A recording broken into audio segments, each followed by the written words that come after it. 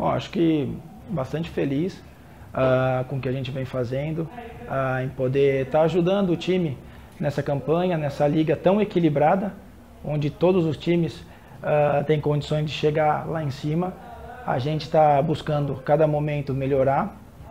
E depois de tantos anos longe do Brasil, voltar e poder, poder ajudar a equipe dia a dia na, nos jogos ali, acho que, que é motivo de, de alegria e agradecer. Agradecer a oportunidade que a Cressol Marreco vem dando para a gente, para mim, uh, e dar o máximo, o melhor cada dia para que a gente consiga nossos objetivos ao longo da temporada, que agora está chegando numa fase super decisiva. Eu acho que com o avanço uh, da parte médica, da fisioterapia, tudo isso vem ajudando a gente.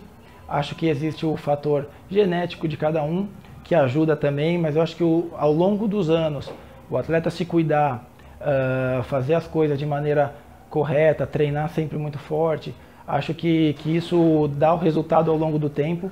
Fico feliz por, por, com 30, por estar com 37 anos e poder ainda ajudar, uh, fisicamente está muito bem. É, eu acho assim, acaba pensando, acaba pensando dia a dia uh, treino a treino, e eu acho que ainda tem, tem bastante gordura para queimar. É um jogo super importante para a gente. Uh, a gente sabe da qualidade do Joinville, sabe da dificuldade que vai ser, do equilíbrio que são, são as partidas, ainda mais se tratando do líder da Liga Nacional. Mas a gente está confiante, a gente sabe da importância que esse jogo é para a equipe, até para a gente ganhar novas posições, subir um pouco mais na tabela para que a gente aí sim comece a pensar nos playoffs e, e tentar fazer um, um bom playoff para que a gente deslanche nessa competição.